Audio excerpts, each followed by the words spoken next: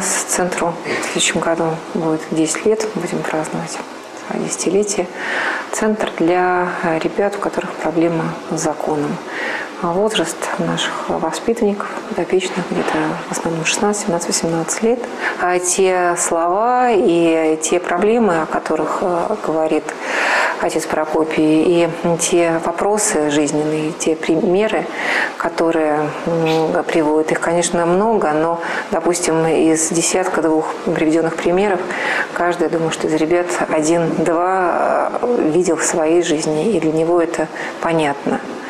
И те страхи, тревожности и те перепутанные мысли, которые приводили к разного рода поступкам, а, которые были для них, в общем, такие, может быть, в какой-то степени трагические. Это тоже а, все, оно очень узнаваемо и очень понятно, поэтому мне кажется, что это важно.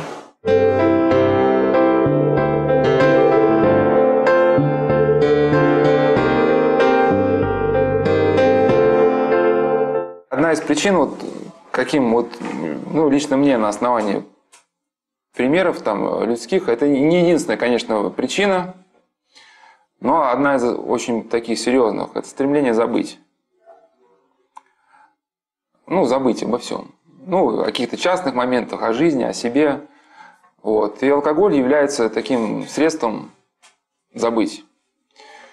И меня это такое, знаете, как, может, говорят там э, про Ньютона, да, да, есть такая легенда, что Ньютон закон всемирного тяготения открыл, лежал под деревом, на него упало яблоко, и он открыл закон всемирного тяготения.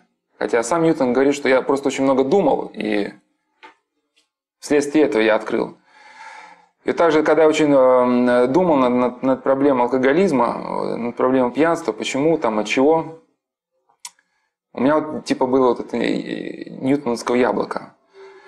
Объясню, что произошло. Я одно время изучал менеджмент технологии. Ну, есть такая система GTD, Getting Things Done. Ну, такая продуманная американская система, но она, правда, бездуховная такая, в чем-то, может, циничная.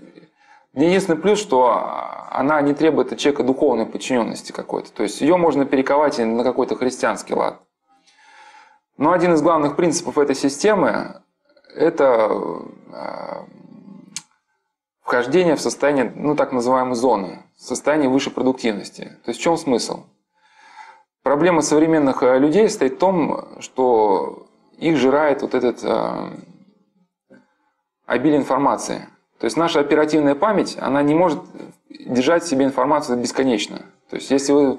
В чем смысл мозга, да? Смысл оперативной памяти? Вам нужно позвонить, и вам мозг напоминает, что через два часа не забудь позвонить.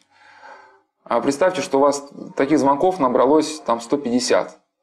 И вам мозг со всех сторон там 100, на разные лады начинает. Вот это, это воспоминание, это. А современные менеджеры, которым нужно с сотнями там фирм связаться, и эти звонки реально выполнить невозможно, эти дела проконтролировать невозможно, а нужно все контролировать, приходит к тому, что человек начинает просто голова разрываться, и он не в состоянии чего-либо делать. То есть такая очень серьезная проблема, и вот такой Дэвид Арин, американский исследователь, он ну, по-своему эту проблему решил. Но смысл в чем? Разгрузите полностью оперативную память.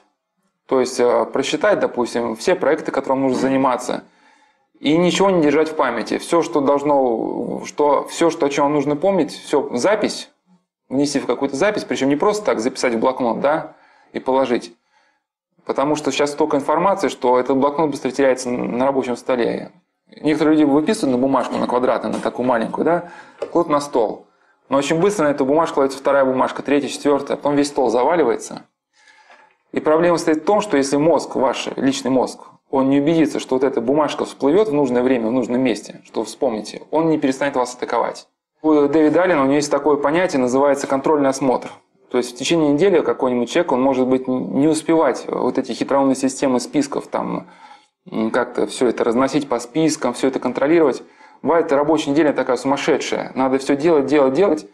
Но к концу недели нужно обязательно все разнести по полкам. То есть там какие-то телефоны там записать там в нужные места, там сделать какие-то, ну в общем все привести в порядок, чтобы на выходные с полной разгруженной головой не думать ни о чем уже. Раньше это педантично по каналу у меня не, не, не получилось, там эти У меня была куча папок там подписаны, там, да, там контакты, люди, там, э, ну, всякое-всякое разное. И очень как бы на это уходило какое-то время, чтобы... И чего я добивался? Что полностью спокойной ну, головы. Что у меня была куча писем, это вообще какой-то сумасшедший дом был. Там в письме 8 вопросов. На первые три вопроса ты можешь ответить. Там, четвертый вопрос надо спросить наместника, наместник в отпуске. Там. С пятым вопросом надо спросить духовника. Духовник приедет через месяц. Там. Шестой вопрос нужно посмотреть в библиотеке. Эта книжка находится в Москве на подворье. Ты это письмо откладываешь. Думаешь, нет, сейчас я не буду им заниматься. А второе письмо точно такое же, только там 16 вопросов.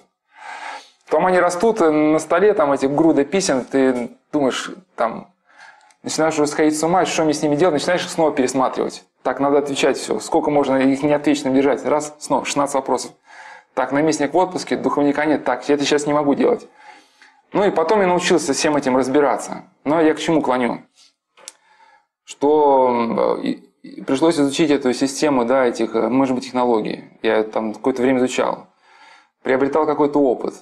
Тратится кучу времени, чтобы, ну, все эти манипуляции провести правильно, чтобы потом, ну, выйти на состояние, ну, такой кристальной чистоты ума. То есть, э, как бы, там такая идея, что в состоянии зоны человек может сделать дел гораздо больше, чем в своем обычном состоянии, ну, затравленном. То есть, когда у человека там куча дел в голове, да, он не может сосредоточиться на какой-то задаче конкретной. Когда перед ним только вот эта конкретная задача, он может выполнить ее не тоже стопроцентным, да, эффективностью, с 500-процентной. У Дэвида Аллена есть такое понятие незамкнутые циклы. То есть незамкнутый цикл что такое? У вас э, сломался там в диктофоне, сломался диктофон, села батарейка, вы раз его положили в шкаф, но вы не определились, что вы будете делать с диктофоном, выкидывать его, там, продавать, чинить.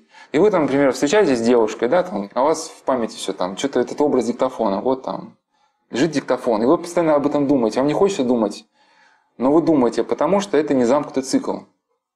То есть это даже вот такая, э, как ее звали, наш отечественный психиатр, э, Блюма Вольф, Вольфовна Зейгарни, кажется, она вот этот э, установила закон, как бы Дэвид Аллен эти незамкнутые циклы как свое преподносит. На самом деле это в отечественной психиатрии, это Зейгарник установила, что незавершенные дела мозгом помнятся лучше, чем завершенные. То есть вы дело завершили, вы о нем забыли.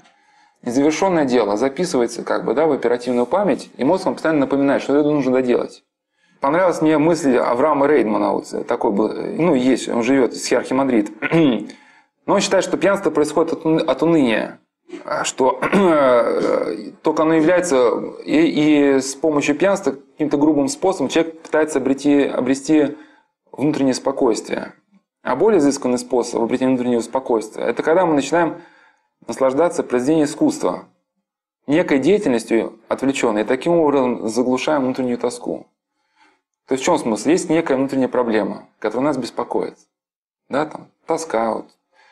Кого-то незапутанные циклы, там, незавершенные дела. Мозг о чем-то нам говорит. Постоянно. Говорит очень болезненно. Мы слушать не хотим, ну и заливаем глаза. Да? Если кто-то читал из вас «Маленького принца», читали «Маленького принца»? Помните, да, пьяницу? Маленький принц попал на планету пьяницы. Сидит пьяница, пьет. Что это ты делаешь, спросил маленький принц? Пью, мрачно сделал пьяница. Зачем? Чтобы забыть. О чем забыть? Спросил маленький принц. Ему стало жалко пьяницу. Хочу забыть, что мне совестно. Признался пьяница и повесил голову. От чего же тебе совестно? Спросил маленький принц. Ему очень хотелось помочь бедняге. Совестно пить. И больше от него нельзя было добиться ни слова. Ну, на самом деле, очень правдивая ситуация. Вот, а, в своей книге «Зависимость семейная болезнь», я не помню, как этого автора зовут-то, вылетело – а, ну, автор вот этой книги, он как раз расскажет, что после запоев у пьяницы возникает чувство вины перед близкими, что он там все переколошматил, да, там вел себя как свинья. И от этого чувства вины он пытается снова уйти через, через запой. И вот когда вот этот, в принципе, эта ситуация с, маленьким принципом, она же, Экзюпери, он писал о жизни, он писал очень тонко.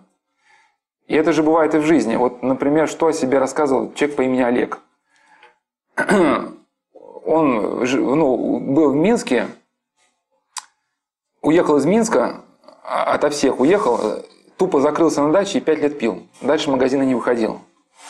И вот как он интересно себя описывал. Конечно, все годы, прожитые на даче, я себе жалел.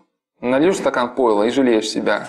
чем больше себя жалеешь, тем больше выпивается, тем больнее становишься. Ну, становится, тем больнее становится. Реальности не видишь, ее можно увидеть только трезвым. Он прекрасно, ему не надо объяснять, что запой это плохо, он все прекрасно понимает. У нас э, на Соловках есть такая женщина, пьющая, такая специфическая, он, Оля знает. И кто-то ей дал лекцию, что там, что вот там пьянство это плохо, там вот там у человека разрушается там то-то, печень. И она мне такая с гневом говорит, да мне не надо. А я, кстати, ее, ее слова взял в эпиграф ко, ко всей работе. Э, потому что слова были золотые. Сейчас не буду смотреть. Но смысл в том, что мне не надо объяснять, что пьянство это плохо. Дайте мне то, ради чего я могла бы жить. Да, и, значит, если у человека начал пить из-за горя, значит, надо эту проблему как-то решить. Да, проблему устранить. Тогда, значит, устранится необходимость э, заливать человека. Ну, чтобы он заливал. Когда мы читаем книгу, да, вот, например, читаем книгу, вот я напился из источника. Мы думаем, ну, что такое, напился из источника, да. Ну и что такого? А он говорит, а вот если бы я тебя послал в каменоломню на несколько месяцев, да, где ты под палящим солнцем долбил бы этот гранит, а потом бы я тебе дал напиться, да, то ты бы написал, и поднявшись там на гору Божию, я напился бы из источника и больше бы не жаждал. То есть только тот, кто прошел то, о чем вообще говорил, ну, то есть выразить что-то может только пройдя через это. И как, например, даже про эту жажду. Вот мне не встречалось, допустим, в книгах вот это именно вот понятие жажды, как вот Экзюпери говорил про жажду. Жажда, о жажде я узнал вот из разговора с бывшим э, рецидивистом. Вот он мне очень так вначале подсказал. Сейчас до сих пор он не может бросить пить, но для него то, что он бывает срывается, для нас это абсолютно трезвость. Потому что, не, учитывая его прошлое, что он у нас срывается, да, это вообще, как говорится, ни о чем. Но ему очень понравилось вот выражение а, там одного пьяницы, что вы спрашиваете, почему ты пьешь? Говорит, жажда.